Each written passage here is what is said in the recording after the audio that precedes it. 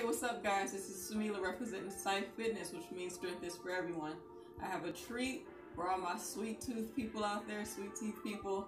Um, I'm making some cookies and cream protein shakes today.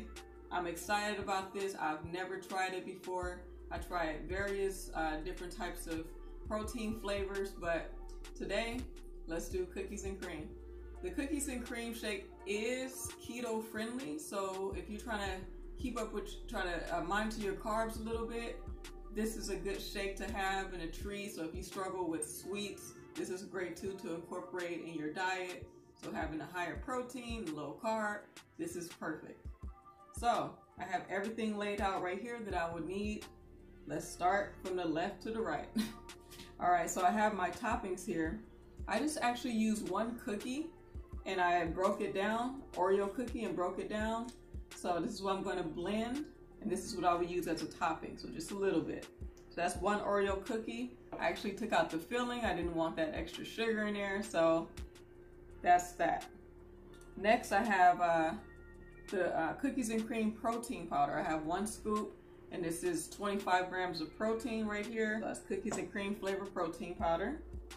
Then to top everything off, I have the sugar-free Cool Whip. This is some very good Cool Whip.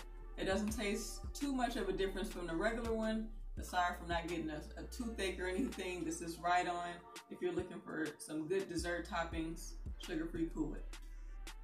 Then last but not least, I'm gonna top off the protein shake with some Hershey's uh, syrup, just a little drizzle on top. So let's get into it, guys. Oh yeah, I almost forgot. I have the unsweetened vanilla almond milk, okay? I usually use water for my proteins, but today, kind of taking it easy, I could use a little bit extra calories. So I got four ounces of unsweetened vanilla almond milk to bring out the flavor and the richness of my protein shake. Okay, let's get started. First, I'm going to pour the milk in. Bam. Then I'm going to go ahead and add the uh, chopped Oreo cookie. Bam. I'm going to add the powder. Bam. Then I have the ice cubes to really thicken out the shake. Bam. I'm to blend this and I'll be right back. Hey guys, I got the shake right here blended. Looks absolutely delicious. I'm going to go ahead and add the sugar-free Cool Whip.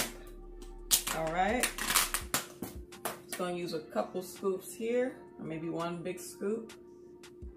Let's throw that on there. Bam. Now for the fun part, let's add the Oreos. Let's go. Let's top it off. Look at that. Then let's add our syrup. So just a quick right on top.